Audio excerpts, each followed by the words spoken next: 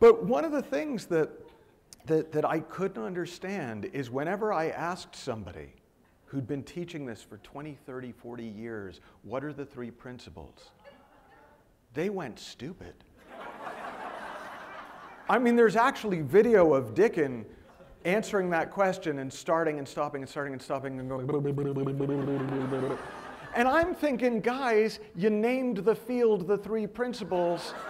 You might want to prep that question.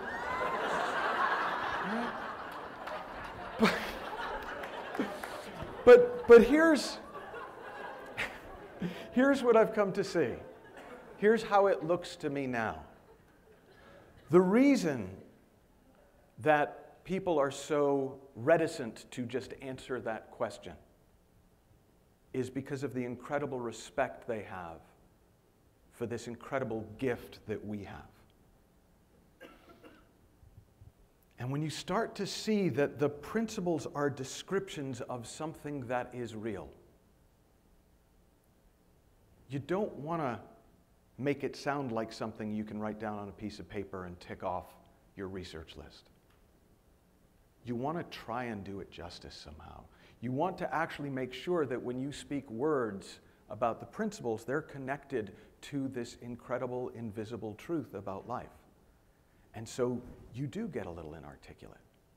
Now, sometimes what comes out after that is beautiful, and sometimes it just stays inarticulate. And the weird thing is, it doesn't seem to matter. Right? I always tell coaches and teachers that we, we train in the principles that you have a secret weapon. You're telling the truth. You're pointing to something that's actually there. So even if you do a terrible job, there's a reasonable chance people will see it anyways because it's really there. Right? So, one of the principles is the principle of mind. Now, if we were to kind of just do the dictionary definition, as it were, right? It's the energy and intelligence behind life. Well, for me, I, I, I, I, I, I think of it as like the electricity that runs through us, that runs through everything, that powers the system, without which nothing would work. Right? It's, it's the animating force that makes us alive. And it has an intelligence. Not an intelligence as in, mm, well, yes, see, the problem here is blah, blah, blah, blah, blah. Not an intellect, an intelligence. Acorns always become oak trees. Right? We can see it in nature. I saw a documentary once, I've never gotten over this. Animals queue up, they stand in line at a watering hole by species and wait their turn to drink water. Like, I don't know if these are just British animals or all animals. But that blows my mind, right? There is an intelligence behind nature, and yet we blindly stumble forward as if that same intelligence does not guide us. And that's a mistake. It's an innocent mistake. But it's almost like we've got battery packs. And so, because we're capable of running on battery power, we unplug not seeing that we have a whole different level of functionality when we're plugged in than when we do when we're trying to run on our own batteries, on our own will, on our own intellect. So, another principle, another gift that we have to guide us in our exploration is consciousness. Now, consciousness, you'll notice if you just, you know, as a sort of a point of interest, if you're relatively new and you are still taking notes in your mind, right, you'll go, hmm, yes, people have they, they, they talk about mind, and, and that's a very quiet conversation. That one's nice. And they talk about thought endlessly thought, thought, thought, thought, thought, right? They go on about that for freaking ever, right? But everyone gets a little coy when it's time to talk about consciousness. It's like, oh, it's, um, you know, it's like awareness kind of. Not really awareness, I, I don't know. Right? And so I, when, you know, when I came in, I really wanted to get it because I was researching. I didn't know it, but I was researching the principles. I wasn't exploring them. And Sandy Krot, just dearest mentor, the most patient woman on earth, right? We were walking on a beach in Malibu, not far from here. And, and I was asking her, well, okay, so now what's thought? What's, and, and finally, like the 15th time, I said, now, what's consciousness again? She just looked at me, and I'm going to say it wasn't disgust. but she looked at me with a curious look in her eyes. And she said, Why do you want to know? Now, that was a great question. Because I realized in that moment I was doing research. I realized I wanted to know, and I actually said, I'll give myself credit for this. I actually said, I want to know exactly what you mean by consciousness so I can decide whether or not I agree with you, so I can decide whether or not to listen.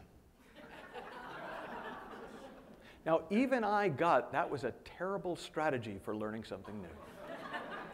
right? I got, oh, okay, I want to explore this. I actually want a sense of what it is that's lighting these people up, that's guiding them, that's moving them, that's transforming their lives. I want that experience for myself. I want I, I can't do that with my head the way I was trying to do it.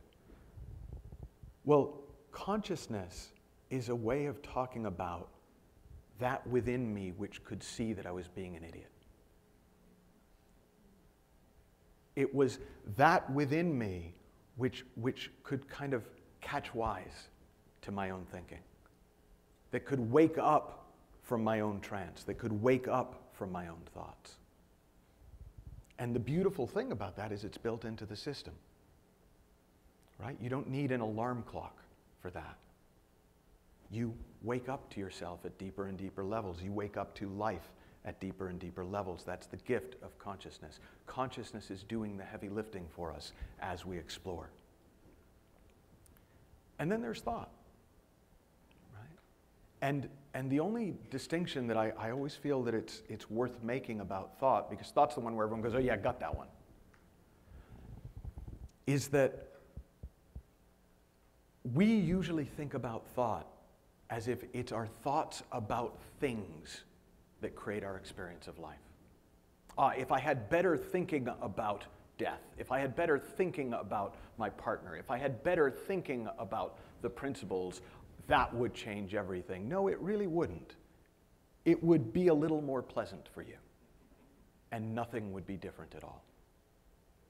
It's when you start to see that the thing itself is made of thought, that every thing you can think about is in and of itself made of thought and therefore can change in a heartbeat.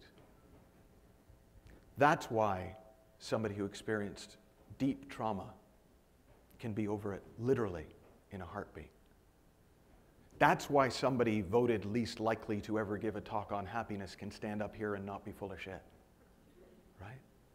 That's why it really doesn't matter what's happened in the past. When you're looking for what's possible in the present and into the future, that's thought. And so those are, that's what we got, right? That's what we've got going for us. We have this intelligence that will guide us if we let it. We have this capacity to, to know, to wake up to ourselves more and more and more. And we have this incredible creative force it's always on, always creating our experience moment by moment.